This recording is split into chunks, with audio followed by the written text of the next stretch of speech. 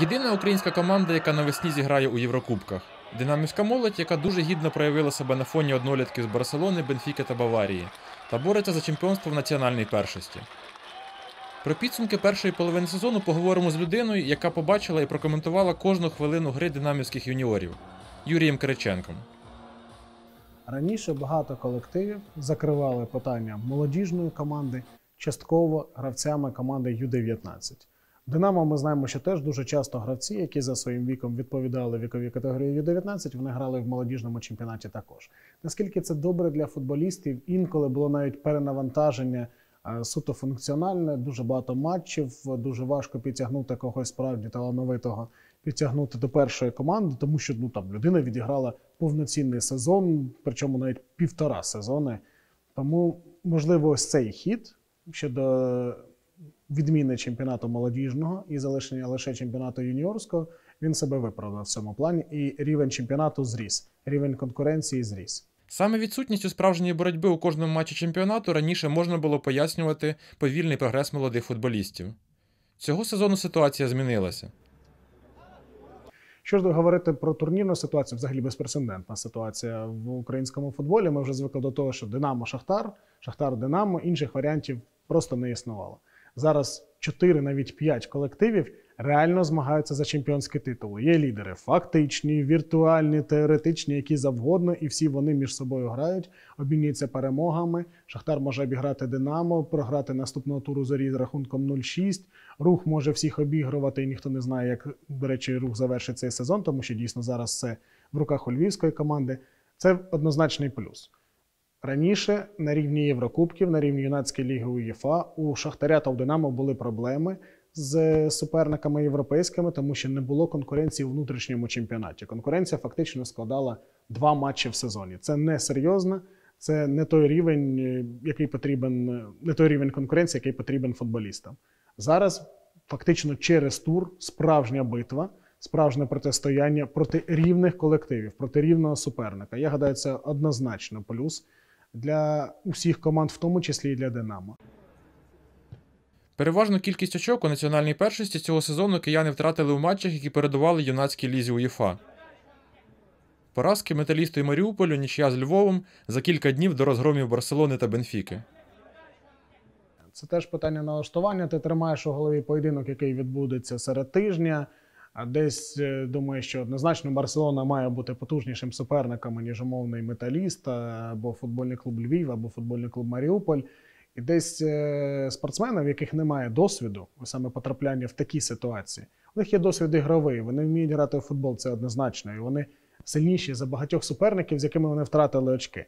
Але при цьому десь психологічно вони готуються до матчу проти умовної Бенфіки або проти умовної Баварії, або проти умовної Барселони, або будуть готуватися там проти Депортіво і інших команд. Я сподіваюся, що теж це питання буде відкритим, і будемо аналізувати багато інших колективів, з якими буде грати Динамо вже у новому році. Але десь підсвідомо ось той матч, який в внутрішньому чемпіонаті проти команди, яка на 7-8 позицій нижче тебе знаходиться в турнірній таблиці, він якось залишається такому на задньому плані. Я розумію, що тренерському штабу дуже складно своїх е, футболістів змусити думати в першу чергу про той поєдинок, який буде найближчим. Це все приходить з досвідом, це все приходить з роками, і цей досвід просто потрібно пройти. Ось цей шлях просто потрібно пройти. Саме набиваючи гулі в таких поєдинках, футболісти розуміють, не буває прохідних матчів. Ось цей матч він теж серйозний, тут теж потрібно змагатися за три очки. І проти Львову дають три очки, і проти Барселони дають три очки. І потрібно змагатися і за ці очки, і за ці очки. Тому я гадаю, що цей досвід він корисний для команди. Навіть втрачені очки вони мають певну користь з точки зору психології юних футболістів. Але саме матчі в юнацькому Єврокубку стали зірковим часом підопічних Костюка у першій половині сезону. Проти Барселони було дуже цікаво подивитися, як буде виглядати наша команда. Чому? Тому що ну, Барселона це бренд. І бренд не лише футболу дорослого, а й бренд футболу юнацького, молодіжного. Так, частина гравців вже виступають на дорослому рівні. І, звичайно, що Барселона не буде відряджати тих гравців, які перебувають в обоймі першої команди, не буде відряджати на поєдинки е, юнацької ліги УЄФА. Там достатньо широка лава для запасних, велика кількість футболістів. Там рік в рік е, академія дає випуски. Це все нормально. Бенфіка для мене була загадкою. Чому? Тому що Бенфіка любить притримати своїх вихованців, любить їх притримати до того рівня, коли вони замінять гравців основного складу, їх вже далі будуть е, продавати за великі кошти. Вже як розкручених е, футболістів. Я гадаю, що ви пам'ятаєте, е, Жуао Феліш свого часу забивав ворота Київського Динамо під час попереднього побачення між Динамо та Бенфікою в юнацькій лізі УЄФА. Чи став вихід динамівців з групи несподіванкою особисто для мене? Ні. Я, чесно кажучи, очікував, що Динамо точно побореться як мінімум за другу позицію. Чи стала гра Динамо несподіванкою? Гра стала несподіванкою. І ті результати, які команда показувала, особливо на початку турніру, дійсно вони вражали. Це не було сюрпризом. Команда вигравала з крупними рахунками у топових суперників і абсолютно по грі. І я гадаю, що жоден спеціаліст не скаже, що десь там пощастило, там ми забили, вони не забили. Ні, насправді Динамо грало набагато краще. І дві крутих команди були в групі. Так сталося, що португальська команда виявилася в підсумку сильнішою, випередила Динамо там на одне очко, але, але сам факт, що дійсно ось Динамо показало дуже змістовний футбол в першу чергу, класна якість гри. Можливо, десь могло пощастити трішки більше в тому поєдинку, який завершився у нічию. І тоді Динамо більш комфортно себе почувало в Лісабоні, але в принципі динамівці точно заслужили на вихід із групи. І своєю грою динамівці точно заслужили на схвальні відгуки з боку спеціалістів. Найяскравішим футболістом першої половини сезону сюрпризом для вболівальників став Самба Діало. У сенегальця на рахунку 5 м'ячів в юнацькій лізі УЄФА, 12 у чемпіонаті. З перших матчів сезону фланговий атакувальний гравець влився в колективну гру команди, неначе грає з хлопцями вже не перший рік. Самба Діало це гравець хорошого атакувального потенціалу. Йому дуже багато над чим є працювати. Але те, що в нього є природний талант, природний дар грати в атаці, створювати магію на футбольному полі це факт. Якщо він навчиться пресингувати, е, якщо він е, навчиться підтримувати себе в дуже хороших функціональних можливостях, буде дещо стриманішим на футбольному полі. Він такий хлопчина запальний. Можливо, це через молодість, а можливо, через певні риси свого характеру, але він дійсно запальний футболіст. Якщо він навчиться це робити, він може повторити шлях свого кумира Садіо Мане. Ну, я гадаю, що Садіо Мане взагалі для сенегальських футболістів це кумир номер один. Але в принципі вони десь схожі і за своєю позицією, і за манерою гри, і за зачіскою навіть. Теж самба ось е, цю смужку собі там робить іншого кольору. І навіть м'ячі подібні забиває, десь видно, що намагається бути схожим на свого кумира. Декілька речей потрібно зробити для того, щоб вийти на хороший рівень. Але ми пам'ятаємо, що навіть ті якості, які в нього є зараз, їх потрібно покращувати, їх потрібно розвивати. Тому що на сьогоднішній день діалог проявив себе на рівні команд Ю-19. Хороших, якісних команд, в тому числі і команд європейського рівня, але все одно це рівень Ю-19. Для нього дуже важливим моментом буде перехід до дорослого футболу. Я гадаю, що він один із тих футболістів, яких Мірча Луческу захоче переглянути в роботі на навчально-тренувальному зборі. Якщо говорити про атаку команди, однозначно я б говорив би ще й про Назара Волошина. У них дуже добра взаємодія з самбою.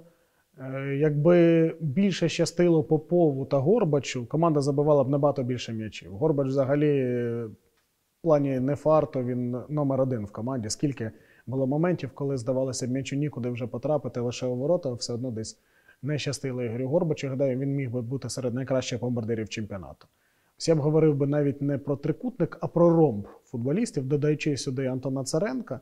Ось е, троє гравців таких ліній півзахисту атаки. Антон Царенко в центрі, два флангових атакувальних е, півзахисники. Вони дійсно дуже класно себе проявили. Саме тому Динамо багато забивало в першій частині сезону. І в внутрішньому чемпіонаті команда дуже багато забивала. І на рівні Єврокубків теж команда дуже багато забивала. Без хорошої гри, без якісної взаємодії атакувальних футболістів забивати багато не будеш. При цьому приємно, що кожен із цих гравців є велика особистість у футболі. Він може себе позиціонувати як дійсно якось окремий індивід, не, не лише от в системі гри команди, а саме як окремий футболіст, якого можна брати, використовувати на дуже хорошому рівні. Я б відзначив би роботу в центрі поля. Мені особисто дуже сподобався Олександр Яцик. Футболіст, який не вважався мегаперспективним, але він показує дуже зрілий футбол. Це ось е, приклад футболістів не акселератів, а тих футболістів, які розвиваються, можливо, запрягають довше, але потім біжать дуже швидко. Ось Олександр Яцик, я гадаю, що може стати новою зіркою цієї команди. Дуже мені сподобалася трансформація Костянтина Вівчаренка. Е, Були питання до гри Костянтина. Навіть е, злі язики казали, що він вже зупинився у своєму розвитку, що ось все, він досяг свого максимуму. Але ні, Костянтин Вівчаренко, особливо наприкінці першої частини сезону, прекрасний футбол демонстрував. Дуже багато грав у відборі, дуже багато працював на атаку, дуже добре взаємодіяв з тим же самбою. Що теж непросто, коли в тебе є настільки технічний обдарований футболіст групи атаки, знайти з ним спільну мову ну, навіть незвично, тому що саме такого гравця ніколи не було в команді. Тому ось певного досвіду взаємодії з таким гравцем у Вівчаренка теж не було. І дуже сподобалася трансформація Костянтина Вівчаренка. І дуже сподобалася робота центральних захисників. Тут жодних питань немає, дуже надійно, хороші ролі, Боль, Дячук. Вони свою роботу виконували протягом першої частини чемпіонату. Дячук вигравав все повітря. Боль був такою людиною, яка може віддати першу передачу, може десь е, підчистити за дячуком. В плані взаємодії, в плані ось цих зв'язок ігрових, пар, трійок, все, все дуже добре у команди. Команда показала дуже хороший рівень гри. І причому відзначу ще раз, що окремо взяті гравці показали себе як хороші особистості на футбольному полі, і тому в них є шанс проявити себе і на більш високому рівні також. Так, Володимир Брашко це гравець центру поля. Е, Наразі він грає у форматі бокс-то-бокс, більше грає як і восьмий номер, інколи як шостий номер. На мою думку, ще не досяг він ось цього е, рівня, який в нього був до травми. Те, що це дуже якісний футболіст, дуже такий хороший, центральний півзахисник, і він може грати на цьому рівні, саме на високому рівні, і в національному чемпіонаті України, і навіть дорости до рівня національної збірної це факт. Протягом першої половини сезону голкіперську позицію майже порівну в чемпіонаті поділили Руслан Нещерет та Валентин Моргун. Є розуміння того, що Нещерет вже десь під першою командою знаходиться, але поки живий здоровий Георгій Бущан, навіть е, Денисові Бойко непросто отримати свій ігровий час, не кажучи вже про молодого футболіста. Він десь потрапив ось такий хороший конкурентний трафік, і виграти в цьому трафіку буде дуже непросто. Якщо Нещерет проявить себе на навчально-тренувальних зборах з першою командою, тоді, можливо, в нього будуть шанси. Але все одно дійсно, коли в тебе в команді в першій грає голкіпер номер один в країні, витіснити його із складу, ну не знаю, завдання це точно не з легких.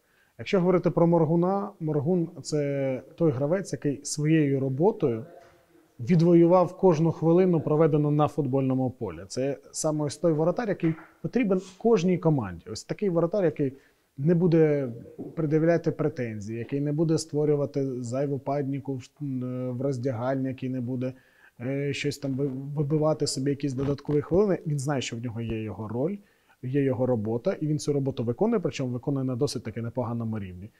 Тому я гадаю, що тренерський штаб цілком свідомо ділив ігровий час між цими голкіперами, аби обидва вони перебували в хорошому ігровому тонусі. Ніхто не знає в нинішні часи з ковідної ситуації, з можливістю отримання травм, коли доведеться того чи іншого воротаря надати першій команді, щоб він там зіграв, в тому числі навіть і в лізі чемпіонів. Ми ж знаємо, подібні випадки були минулого сезону. Тому я гадаю, що абсолютно правильне рішення тренерського штабу 100% воно точно зіграло в плюс для команди. Саме тренерський штаб перетворює групу молодих талановитих різнопланових гравців на команду. Роботу Ігора Костюка відмічають і спеціалісти, і вболівальники, і керівництво клубу. Ну, звичайно, що завдання, які ставилися, конкретні завдання, які ставилися перед тренерським штабом, про них знає керівництво клубу. Можливо, були якісь специфічні завдання, про які ані ми з вами не знаємо, ані вболівальники не знають. Можливо, стояли завдання підготувати конкретно того чи іншого футболіста або футболіста на якусь конкретну позицію.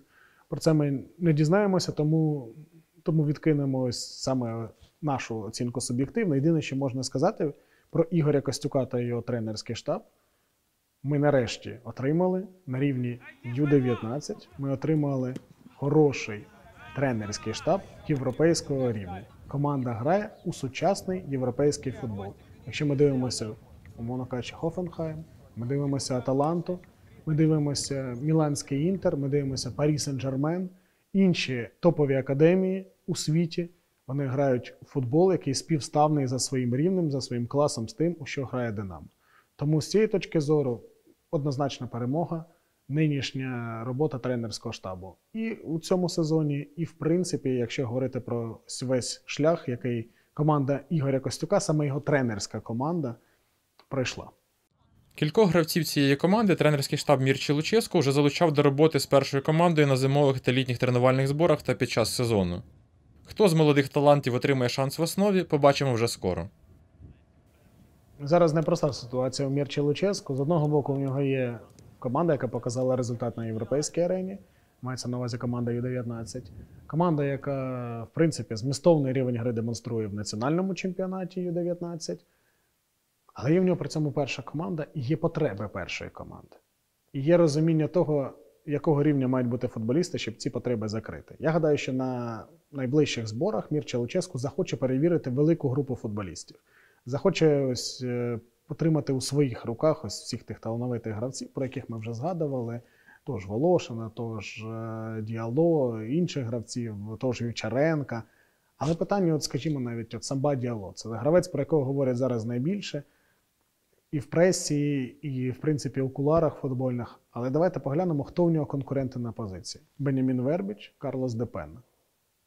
Це двоє футболістів, які за своїм рівнем відповідають рівню стартового складу команди Динамо Київ. Тобто витіснити двох фактично основних футболістів з однієї позиції ну надзвичайно складно. Можливо, е, варіант е, з використанням під час навчально-тренувальних зборів, можливо, щось для себе помітить Мірча Луческо і скаже, над чим потрібно працювати надалі. Можливо, він побачить, що футболісти вже такого рівня, щоб конкурувати прямо зараз. Той же Ілля Забарний, Олександр Сирота довели, потрапивши до команди, що можна з цієї команди назад не повернутися. Можна там і залишитися в першій команді. Хочеться побажати нашим футболістам, юним футболістам, щоб вони пройшли цей шлях. Але конкуренція це найкраще, що може бути. І якщо гравці, яких ми звикли називати основною групою футболістів, на навчально-тренувальних зборах отримують справжній рівень конкуренції з боку футболістів молодих, це однозначно буде перемога для всього клубу.